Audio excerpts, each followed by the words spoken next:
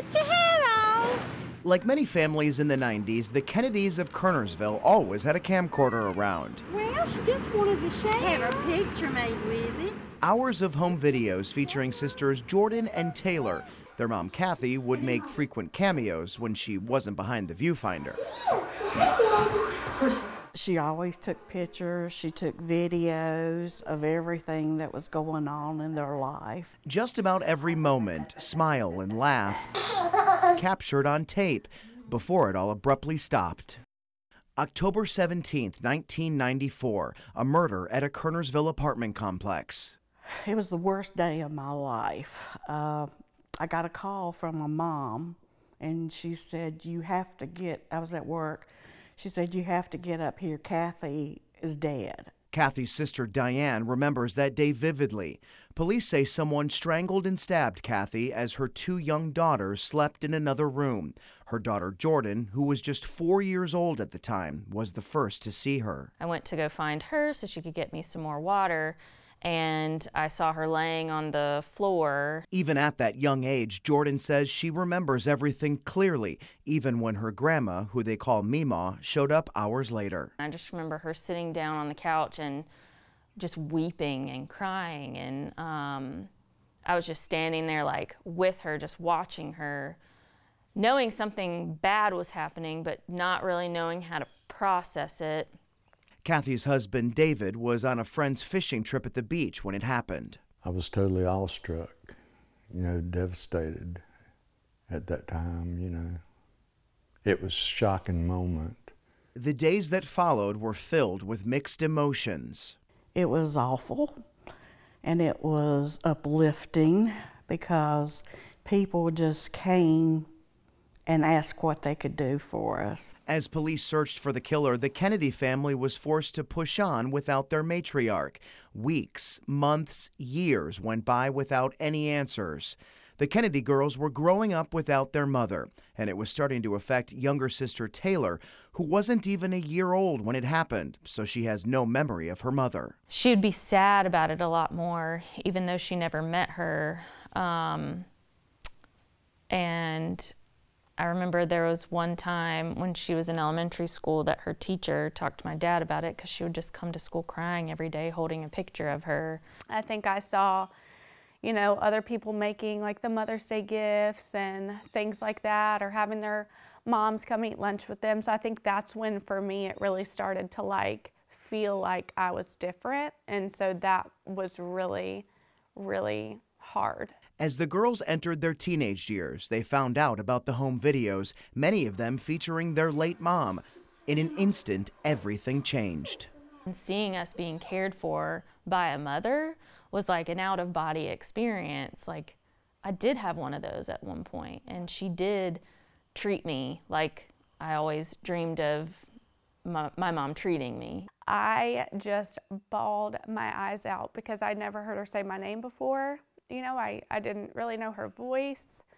Um, I didn't know the little nicknames that she had for me. So, like, hearing all of that was really healing in a way, but again, just like so much sadness. Through these tapes, Jordan and Taylor had a treasure trove of small glimpses into their early lives. Videos showing mom playing with them, interacting with the camera, and showing them affection. It was solid proof they had a mother who loved and cared for them. I haven't been motherless all along. Um, we did have that bond with her before it was taken from us, and we have videos to go back and like enjoy that time. For once, I had my own memory, you know, and it wasn't like a real time memory, but still like it existed and it was me and her. Over the years, Kathi's family members learned to live with the possibility they might not ever find her killer and I know that it's probably never going to be solved.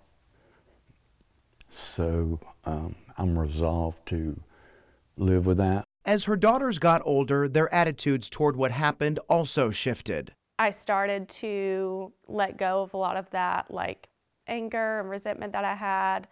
Um, I started to get closer to God and understand His heart and who He is. I know that God has righteous anger towards this person, and I don't have to carry that burden. You know, I can live my life at peace knowing He will take care of it and not let it make me into this bitter, resentful person that cannot enjoy the life that I'm sure she always wanted me to have. They faced other challenges as the years passed. Like the day Taylor got engaged, a fire burned down the family home.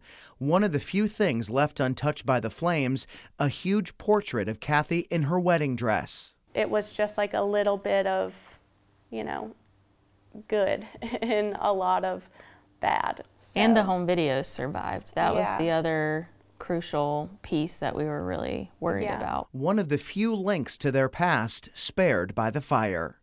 Taylor and Jordan are both married now with young kids of their own. They hope to one day share all the good stuff with them. There are small reminders of Kathi to spark that conversation, like this stone outside Taylor's front door. again, it'll just be another way for our kids to, you know, Remember her? remember her and know that she's here and an opportunity for us to see it and think about her. So I think it just it feels like she's close. Starting to tell their kids about their grandmother has been healing, but it's also been difficult. He said, um, "What happened to her?" And I just said, "You know, she's just she's in heaven with Jesus. We don't have to worry about that. Like she's she's great. She's fine. She's happy." And he said, "But I love her. I haven't I haven't met her yet." And so that just like broke my heart because yeah, like me either, buddy, but Even through the grief, they're looking forward to sharing the type of person she was.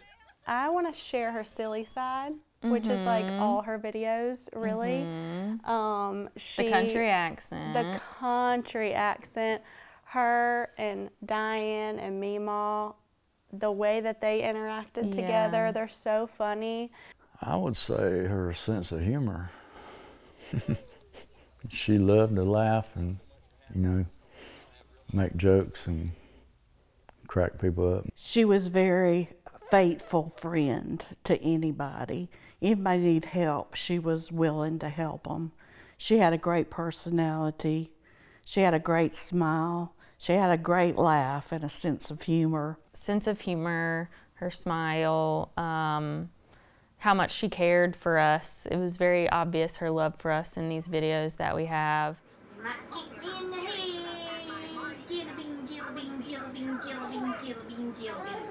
Videos that will forever provide a glimpse into the past, a past that was stolen from this family, but one they're determined to pass on to the next generation no matter what. The Kernersville Police Department wouldn't comment on the case since it's still open, but I spoke with a now retired detective who used to be over this case. She told me investigators have some DNA evidence, but to this point, it's not been enough to find a match. She's hopeful advances in technology can one day determine who it belongs to.